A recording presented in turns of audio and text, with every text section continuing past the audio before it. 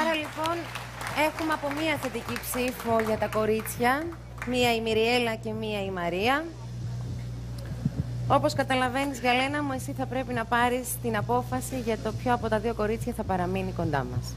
Εντάξει, νομίζω δεν έχω βρεθεί σε χειρότερη και πιο άβολη θέση στη ζωή μου από αυτή αυτή τη στιγμή. Γιατί είμαστε και ένα-ένα τώρα, γι' αυτό είναι το θέμα. Ε, Δεν Ναι. είναι μόνο αυτό, είναι γιατί έχουμε δύο ζευγάρια που είναι πάρα πολύ καλά και επειδή η Μαρία με τον Ηλία είχαν μια ατυχία στην αρχή και κάτι δεν του βγήκε στη χορογραφία και είναι σε αυτή τη θέση. Γιατί εγώ πιστεύω ότι αν είχαν χορέψει τη χορογραφία τους όπως τη χορέψανε τώρα, θα ήταν κάποιο άλλο ζευγάρι εδώ στη θέση αυτή. Για τη Και Μαρία όχι λες. ήδη, για τη Μαρία Ναι, ναι, λέω. ναι.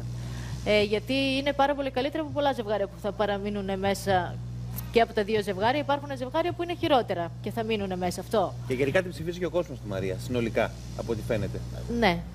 Ε, τέλος πάντων, α, τώρα επειδή εγώ το, αυτό που θεωρώ ότι πρέπει να κάνω είναι να ψηφίσω με βάση ποια χορογραφία και ποιο χορό σήμερα ήταν καλύτερο. Η Μαρία έχει κάνει μια φοβερή εξέλιξη, μεγάλη πρόοδος. Η Μιρέλα από την αρχή ξεκίνησε καλά, σήμερα όμως είχε μια από τις καλύτερες της χορογραφίες.